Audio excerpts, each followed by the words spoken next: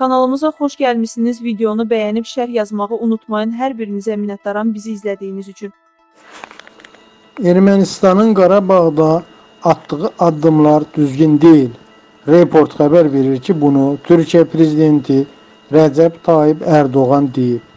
Biz buna müsbət baxmırıq. Bunu qəbul etmək mümkün deyil.